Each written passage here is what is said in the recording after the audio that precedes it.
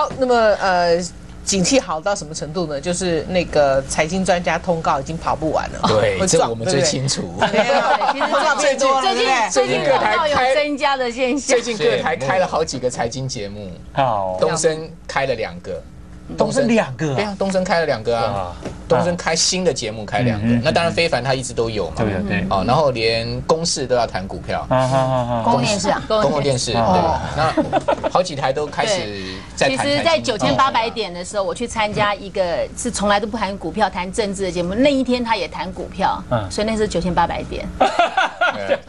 我真的我觉得勇敢。勇敢的人真的是很多哎、我前几年开始投资的时候，那个听众听到我在节目里面讲他说，哎、可以投资啦，怎么样？嗯他说，拜托安哦，你千万不要买嘿。我跟你讲，那个是无底洞啊。我说、啊不会了，不会，我周遭有很多财经界的朋友。结果我几倍，嗯去年就雷曼兄弟了，啊，你啊你有买掉，你有买掉乌啦，哦啊，得给我砍一半。啊，还有才一半呢，对哦，四哎分之三。你怎么这样子呢？对我来讲是钱呢、哇，四分之三呢？我讲跟我砍一半的时候，人都跑讲，别别啦，砍一半逃球啊啦，才一半而已才一半而已。我哎，嘿，我还急呢，砍一半对我来讲真的是嗯心把存一半年呢啊。可是人不会汲取教训，你还是觉得说，好吧，那我就放着好了。我想要跟啊，跟到尾啊嘛是嗯。舍不得还是几只，就像美人姐买的，你讲的你没有卖掉，你觉得嗯不干不干？好吧，就卖一下，一卖好啦，现在回来的 我又赔啦啊，不卖都还好嗯嗯，你可能就把它守住。所以我那个砍一半，现在回来大概可是你赔因为你是百分之二十。根据你过去的经验法则，你过去就是抱着不卖，后来变壁纸，对所以这次你不敢抱了嘛，对不对？我就卖一部分，我没有全卖。嗯嗯，好，那我至少会对一半嘛卖了。也后悔。卖了也后悔，没有卖的也后悔，反正就对都，我觉得那个那个感觉情绪是不对的。像去年我有朋友也是在雷曼兄弟这一波，他长期都是在投资买股票。那因为他的工作关系要很多国际观，他会吸收很多资讯。他说他不知道从什么时候开始，每天早上起床啊，就是固定看新闻，马上看国际的分析呀、股市的分析呀、他刚好并惯洗哦，刷牙、洗脸、上厕所都被那个绑住视线哦。他说他不知道从什么时候开始哈，连吃早餐不知道自己吃什么，然后上厕所。想一下，哎，我早上嗯了没有？没给你你这样。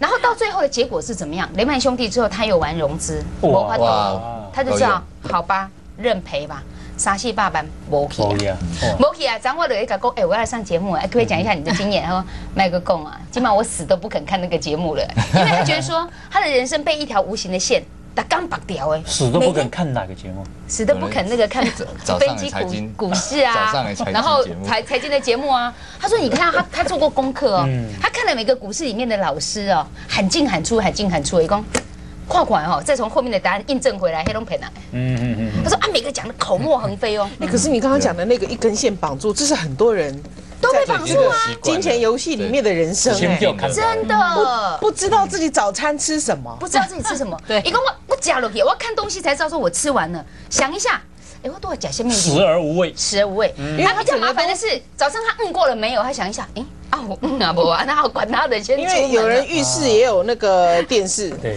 饭桌也有电电视，视还有人连做梦都会梦到股票啊。你你知道我我刚才讲的，我们家小朋友的也学校里面的一个老师哈，服务学校二三十年被退休啊，啊退休了就不光彩，想哪被家长举发，举发什么？规刚干不得退这个，啊，哈哈哈哈，上课还下单呢，哇，一次两次被人家，我看他一直现在家长一直点就对了，点啊看啊看啊，基本上公口公几博公，哎你们现在自修一下哈，看看呐看呐这样看呐。你敢把小孩给他教吗？所以家长去看，我如果去啊。看看医生哦，看到有医生拿了这种股票机，或者是看荧幕，可是这个好方便就不去看，因为老师他也会。要不然掏款，你知道哦？就家长也很厉害，得个黑熊起来，给他存证下来去检举，好啦被迫强迫退休。你服务一辈子二三十年的荣誉，我们觉得尊敬你为老师，结果是因为安内克用被迫退休。哇，老我我秉住警少哦那那啦一辈子。这这台要一万多块，哦，现在是，如果人说太大了，拍谁拍谁，我来看几外赔你啦。不是啊，我我我我我觉得刚才那个现在几点？好，谢谢你。今天涨五是几点啊不？了，我是讲今晚 几点？重度太深，被一根线绑住的，被你陷害，无形的线，没有无形的线。中毒太深中毒太深我。我我觉得啦，我觉得不华，你知道你中午吃什么吗？我知道啊，我中午吃便当啊，他还有请你喝咖啡三杯，鸡啊，我中中午吃你请你请我吃的，你不是茄子茄子对啊因为是茄子。我觉得你好像吃牛柳。我们不会，我们这样我来讲一下，其实你刚刚讲都是实情。基本，但我我我必须要讲啊，其实工具或是说电视节目，它是没有害的啦。嗯对那重点是自己个人的判断力。我觉得股票市场它其实本来很不公平。你我常常跟很多朋友讲啊，你如果说是一你一百万在做股票的人，跟你有十亿在做股票的人，你做股票的策略方法跟心态会一样会会一样吗？对不一样。所以为什么这个股票市场永远大吃小，你知道吗？我们说这一波行情啊，其实真的散户赚到大钱的人，不敢讲说都没有赚到钱啊，赚到大钱的人很少。为什么？因为他们都是被行情洗来洗去嘛，几波都洗得很惨。像那个发生那个 H1N1 被洗一波，好那个哇一有一天爆了两千多亿大量，然后收一根大长黑，又被洗一波。那散户都马被左边扒来去，右边扒来去。那真正在这个大钱在玩股票的人，其实基本上他们的心态跟一般散户都不一样，他策略方法也不一样。所以说呢，股票市场真的要赚钱哈。那个散户就是说，一般投资人，你要把你自己的心态改变成是大户的心态。哦，那这就是小贷哦了，那就是小贷了。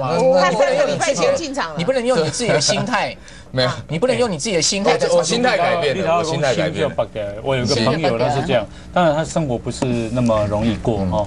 结果我一去被他说把基金当股票操作。他去买基金买多少钱？你猜？他买三千块，啊，一定时定三千定块时定额，不是？定一定，他买三千块的基金，共同基金他辛苦就不。想背下了，三千块一当买几买几一个单位的。啊，对啊，可是对啊三，而且还第二天你就把它卖掉对对结果它涨了四趴以后赶快跑，那也三千多才才一百多块钱而已。哎，他心脏无力耶，没看紧。不是啦，业艺术型三千块赚四趴，四趴才一百多块钱，有什么好跑？再睡抽一抽，对啊所以他。他就是不敢呐不，是哎呦压出代机啊，小姐，他就是把它你当股票是这个意思一百二十块啦。压那不来不去不啊？他他以为可以这样一直进出的超短他线，赚他认为他赚四趴对，他不然他搞不好他会赔啊，对啊所以他赚四趴以后他就先跑了啊。可是他赚一百二十块，对呀，那对啊，那你你你他扣手续费扣你有十亿的人十亿赚四趴多少？